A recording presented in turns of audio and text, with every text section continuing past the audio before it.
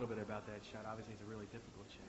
Yeah, it's a little workout, but you know Dwight was out here doing it, so I said, hey, I'll join in for just doing it for fun. I didn't, I didn't even think I was gonna make it. I didn't think I can get it far enough. Now that I got got used to it, I just tried to back up because I kept throwing it over the goal. Does it make you feel good to know that you beat Dwight's record?